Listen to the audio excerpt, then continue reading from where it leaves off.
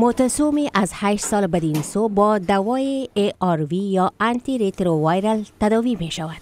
وی مصرف دوبار گرفتن این دوا را برای شش ماه متوقف کرده است. مت سال گذشته به خاطر ترک این دوا نزدیک بود جان خود را از دست دهد. از خوردن دوا خسته شده بودم. به دلیل اینکه من به یک افسردگی شدید روبرو شدم. تا آنجایی که متوجه شدم که اگر خوردن دوای خود را قطع کنم ممکن وضعیت صحی هم چی خواهد شد. فکر می کنم چنان جرات نداشتم که بین دوا خوردن و زندگی خود یکی را انتخاب کنم. لذا یک احساسی به من رخ داد و خوردن دوا را متوقف ساختم و در نهایت نزدیک بود تا بمیرم.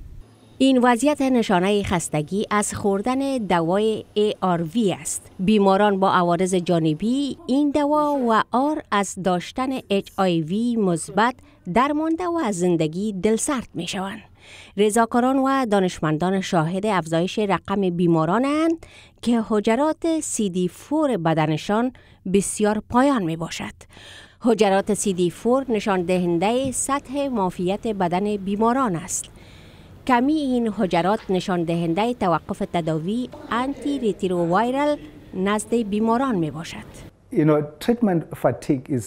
احساس خستگی از تداوی یک مفهوم کیفی دارد نه کمی بنان اندازه سطح خستگی از تداوی بسیار دشوار است هنگامی که یک فرد تداوی ضد ویروس خود را برای یک مدت طولانی یک بار توقف دهد با تغییر شکل این بیماری تداوی با روش متفاوت تجویز شده و برخی اوقات برای بیمار دوای قویتر مبارزه با HIV داده می شود.